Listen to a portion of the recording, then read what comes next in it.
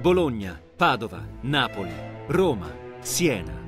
La storia e i segreti di cinque tra le più antiche università d'Italia, raccontati da professori e alunni illustri. Io arrivo a Napoli nel 1957, l'università per un provinciale era una conquista. L'università guarda avanti, guarda avanti con nuovi progetti. Magnifiche, storia e storie di università, da lunedì 8 novembre alle 21.10 in prima visione su Rai Storia.